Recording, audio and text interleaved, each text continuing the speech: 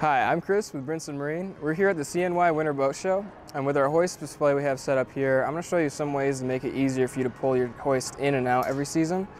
So starting off, we have here our hoist lifter, which is basically just a lever that can be placed anywhere uh, along the vertical part of the hoist, which means that you don't have to bend down and pick up that bottom beam anymore. You can just place this wherever is easiest for you. And lift one whole side of the hoist very easy, and if you have two people, it makes lifting it extremely easy. Uh, we do carry these in stock. We have them available at the shop. And uh, moving on, we have here our Smart Jack, which just like our dock wheel legs, it's a screw leg system.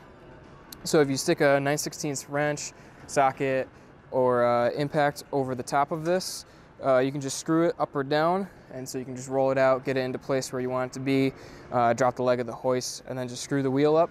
And then we do also recommend that you take the wheel off when it's not in use. Um, not only is it not rated to hold the weight of a boat, but with the wave action of it sitting in the water, um, it can start to wear away on the axle there.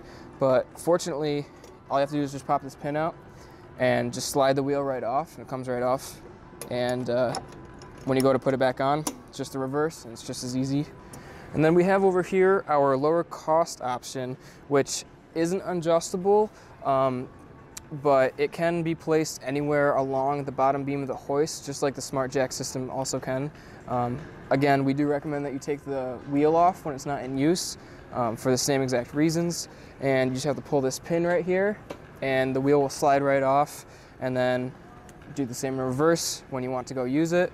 Um, you just pick up the hoist, slide the wheel on, and place the pin right back in there, and that's it.